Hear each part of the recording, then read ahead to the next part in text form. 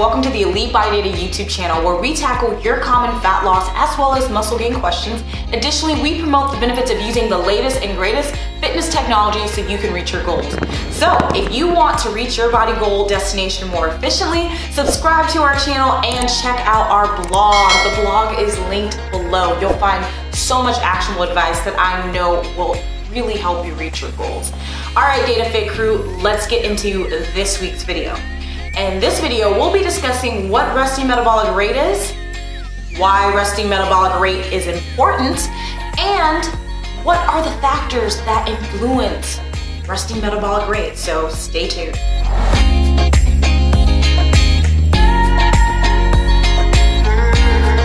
So what is resting metabolic rate? Your resting metabolic rate, also known as RMR, is the number of calories your body needs to survive.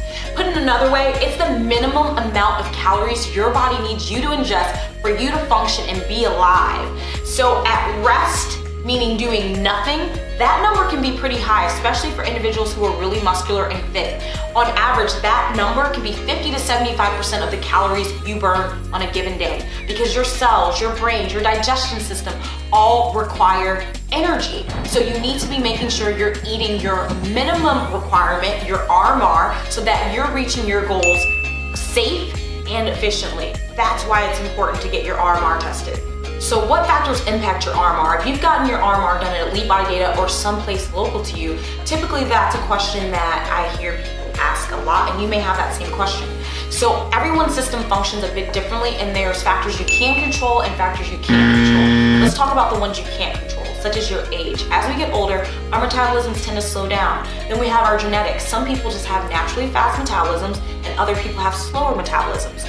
Then there's gender. Men have higher metabolisms than women, and we also see that they're taller than us. They weigh more than us, so that's a big factor as well.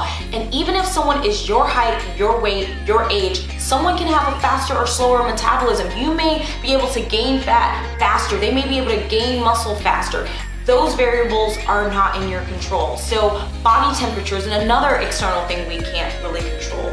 So if you're exposed to cold temperatures, it increases your RMR, so your body has to work really hard to stay warm.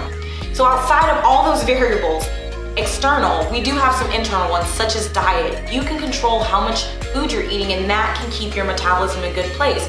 Also physical activity, your choice to commit to a set cardio or weight training routine can totally influence your RMR. It's not gonna be a major change, but it's just good enough that you can increase it. You can also control the non-exercise activities, also known as NEAT, and the formal name is non-exercise activity thermogenesis. Things such as walking your dog versus hiring a company to walk your dog for you. Instead of using Postmates to get things delivered, you go out by bike, by foot, and pick up those items yourself. Those activities also help boost your RMR. Once again, these are very small increases, but the things that you can commit to changing are really important and you might as well do it because there is some value for doing it at the end of the day. So I hope you guys found this video helpful and I look forward to seeing you guys on the next one.